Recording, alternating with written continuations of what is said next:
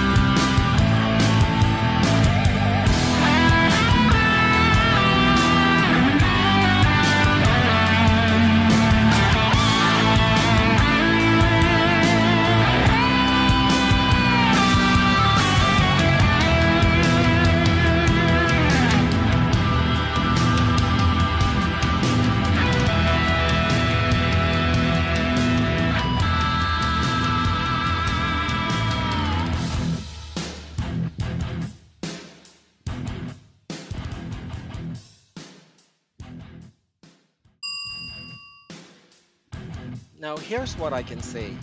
The plastic is so Bandai grade quality. Yes, it only came with few runners, but the design is intricate. This kit has no stickers with it, and again, that's a good thing for me. The red crystal part is so unicorn-like. I'll be building this kit so you guys can join me on my review video. Once again, my name is Gundam Deck, and thank you for watching.